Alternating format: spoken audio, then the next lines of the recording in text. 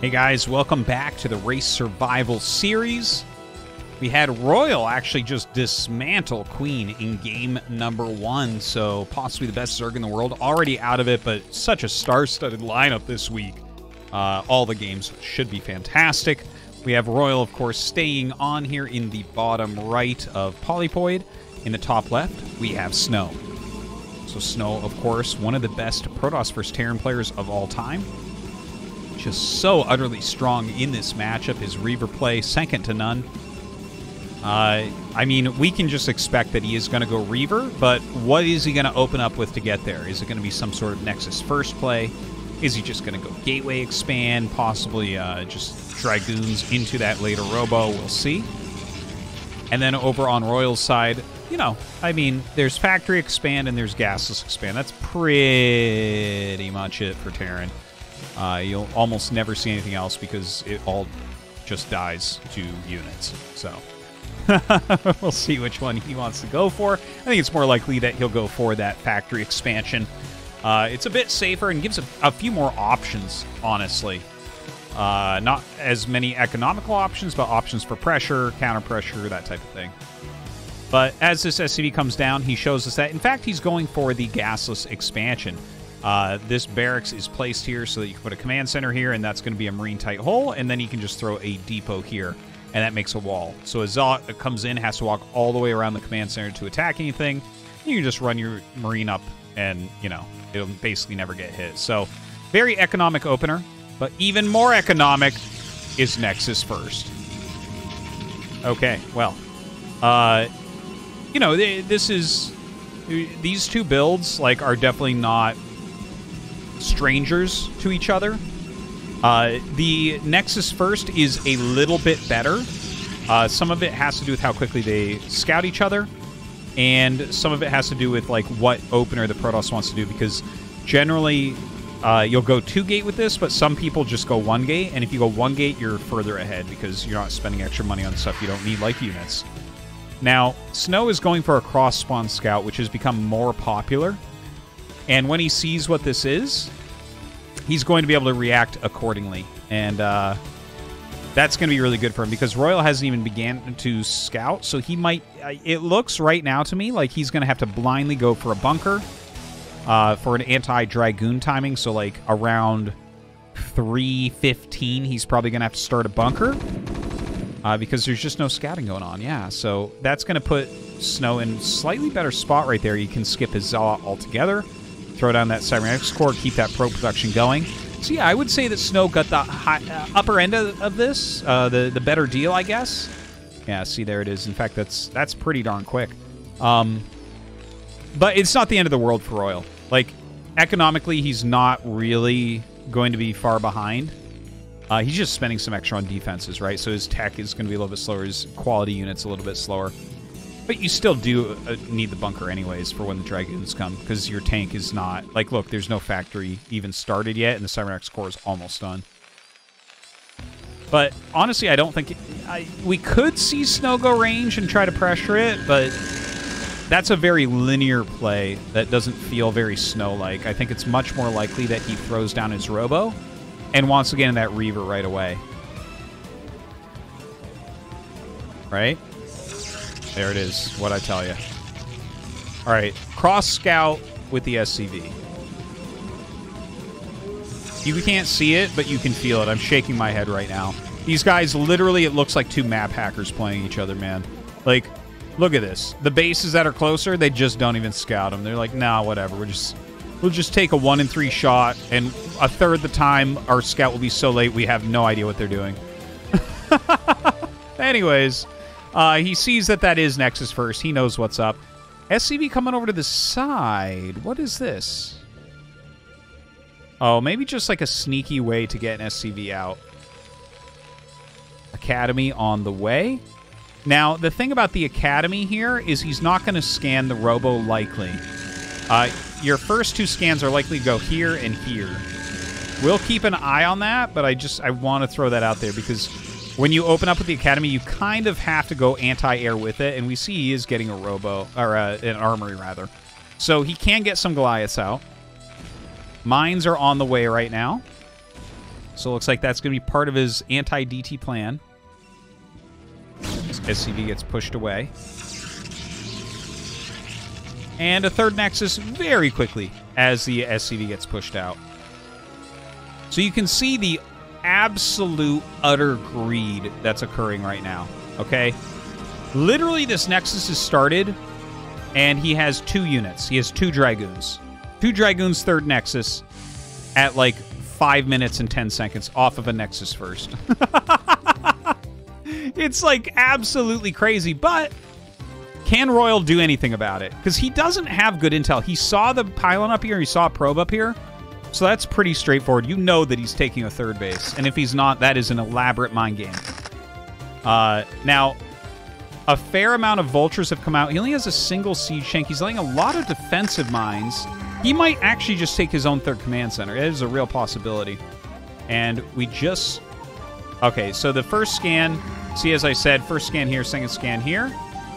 Uh, he sees this spinning, but I guarantee you he thinks that that's the range upgrade. He knows that something very greedy is occurring. And the observer coming down. He should be seeing that blur momentarily. The vultures go up, and they do check. They see that third nexus.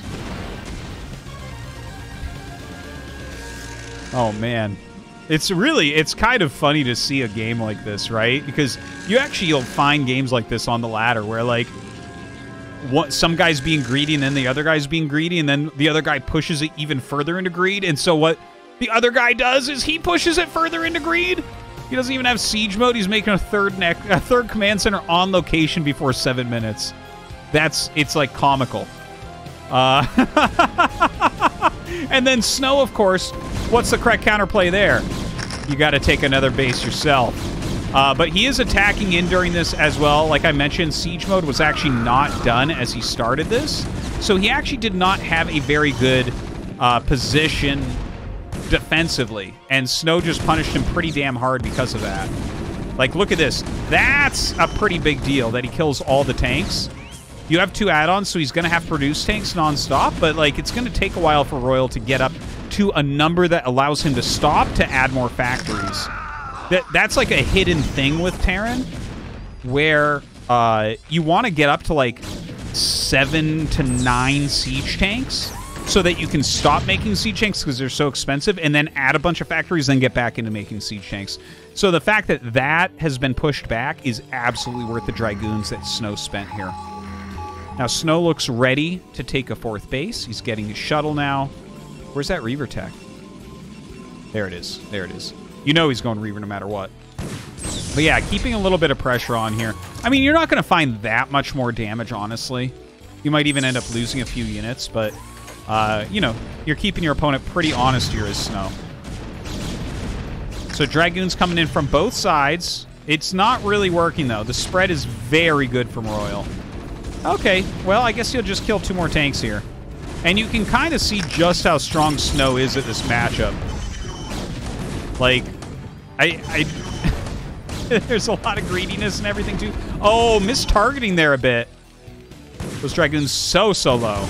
Okay, yeah, he will end up picking those off. A shuttle is just sitting here now. Definitely need a missile turret here, I think. Uh, Goliath's being made. Now, we have seen a few little changes for Royal. Like, look, he's getting plus one armor uh, after his plus one attack, but be, he's getting it instead of the starport. He doesn't have the money to go into two plus two attack upgrades. There's just too many uh, little scuffles and battles going on right now. He's going to try very hard to keep this tank alive, and he will end up doing it. So all those Dragoons fall for a single siege tank. Some lost mining time as well, of course. But it looks like we have just hit stabilization. So Royal's okay. Snow's not going to do more damage like that. He has to change what he's doing. Looks like it's Reaver, which of course we always know is going to occur. And honestly, after all that, uh, I guess the thing that is scariest for Royal is the lack of siege tanks, but the amount of Dragoons spent, he's not in any danger of dying. And then you look at the worker count. We have more SCVs than probes. That's amazing. Three bases against three bases. Amazing. But Snow is double expanding. Fourth base, fifth base, right there and there. Uh, and that's something he's allowed to do because you just you don't have a big army and you don't have that many factories because you've had to build siege tanks nonstop this game. Now the speed shuttle starts to come in. There's like no anti-air. Oh no. He's to have to start a Wraith probably here. Get some Goliaths out. This is bad news though. This is to be a lot of damage. Yeah, look at that. The Reaver's start to blow up SCVs left and right. Looking good for Snow right now. These are some very strong moves. He's already killed about 10 SCVs. Once again, the Reaver comes out. Gonna stop that turret from finishing, so he has a way out of here. And bam, there he goes. Oh, no. Tricked ya. Another Scarab. it's like, oh, I see a Goliath I can kill. Yeah, down it goes. All right, fly back over. There is that Wraith I was talking about. Generally, when something like this happens, you don't have any turrets up, you need to get the Wraith because you're just never going to get rid of it. More SCVs falling, man. Okay, finally it goes down. In fact, Snow probably planned that uh, for the mine drag. Because he has 5 base, so he doesn't care. If he's slowing down Royal at all, it's worth. Now, there's a 20 worker advantage, which means that the supply advantage army-wise is not that big for Snow. It does get that shuttle with the Wraith. That's nice. But I really like Snow's position here. Even though he doesn't have, like, the greatest army in the world right now, that can change. He's getting ready to take another main. 73 probes spread on five bases is going to give you insane income. So he is going to be able to max out and stay there and also continue to tech up. In fact, you see he's getting Scarab damage because he's Snow, and why not? Templar Archives is on the way as well to go with those speed shuttles, a great pairing. And Royal's just trying to, you know, stop water from coming on board or something like that. Now, it, it looks like he's going to stabilize, right? He's got 60 SCVs. That's enough for three bases for now. Uh, and he's at 130 army supply. So he's like, he basically can hold any attacks. Build a couple more turrets, lay a few more mines, spread your tanks a little bit. You're, you're not going to die. But where do you go from there? And, well, the answer should be another command center because there is absolutely no attacking potential this game. Not for a long time, at least, from Royal. Snow would have to give him two armies, I think, for Royal to be able to attack. Uh, and, yeah, with the High Templars coming out, it becomes worse and worse of an idea. Look at this. He does not even care about the Wraith, just coming in with that Speed Shuttle Zealot Bomb. Mines kind of in the way here. And with Snow taking this main, look at this. He's adding a bunch of gates. He's throwing down a ton of cannons. This is getting really scary. That is your sixth base location. Snow's going to get into the position where he can actually start attacking quite a bit as well. Oh, nice save there on the siege tank. Good on siege.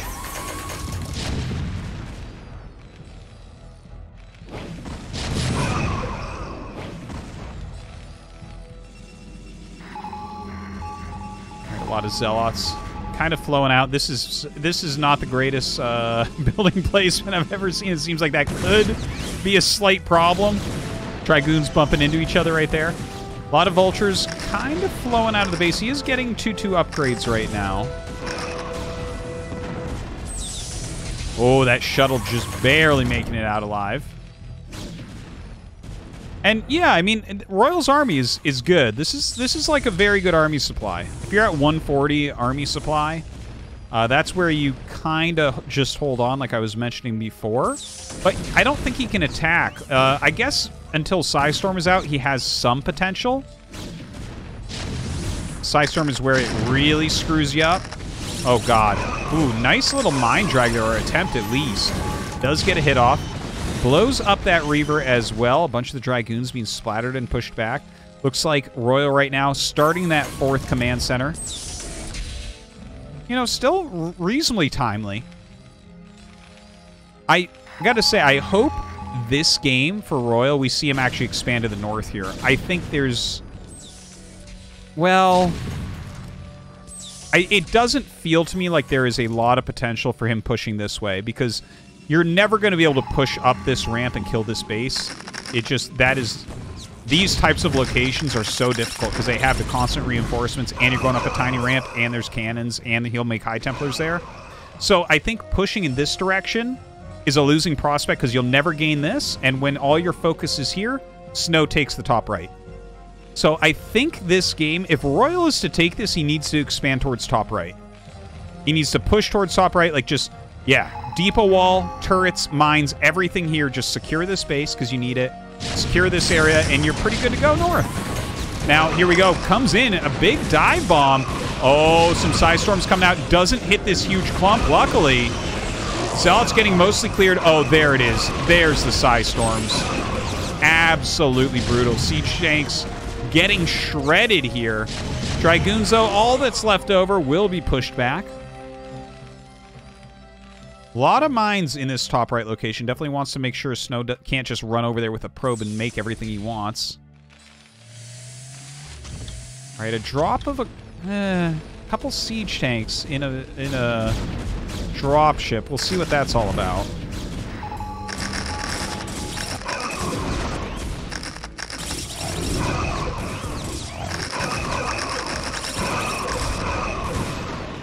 All right. Well, I mean, I mean, he's being really efficient with these. Tries to come over this drop. Like this, in theory, against a new base is good, but when you have all these gateways and units, obviously it doesn't do anything. So, um, yeah, dropship play is not going to solve the problems of the bottom left. Honestly, I look at this game, and the bottom left to me I, is so unbreakable that you have to ignore it and move to the north. You just have to accept that Snow gets half the map and you have to try to get the other half yourself. That's really what the game has turned into. Snow is too active on the map right now. Look at this. He's got so many speed shuttles. He's got that Psi Storm ready. He's getting Khaydarin Amulet, Observer Speed, really everything of his dreams. And, you know, he's he's ready to bash you if you try to actually push him. Speed shuttles coming down. One of them actually empty right now. Kind of funny. He definitely could do a drop here. Like, two turrets and two tanks doesn't do anything against these speed shuttles. Yeah, and it looks like that is going to be it. And, well, that's going to be a lot of dead SCVs. Zealots doing their job. No anti-air there, so uh, he can actually get the, uh, the command center out. And he's going to kill these depots, so he'll be able to get out with a bunch of these units as well. But uh, realistically, you definitely do want to go up and try to clean that. Okay, I am not sure, but I think we may have just seen him drop a Siege Shank to kill a High Templar there. I'm not... I, I mean, that's like a StarCraft 2 move where you boost a medevac and drop ghosts out to EMP High Templars. Like, I don't know if he did that, but that is within the realm of craziness that Royal operates in. So that's super cool if he did. Okay, Royal right now starting to push out. This is not something that looks like it has any chance of working. In fact, a very sloppy attack. Snow taking the bottom fight very well. The top fight going to Royal, though. But you can see that bank. Look at this. 2.5k and 700 gas. Uh, and even though Royal is like, he's killing a lot of units here, it's just, it's so hard for him to get anywhere really mining at this point.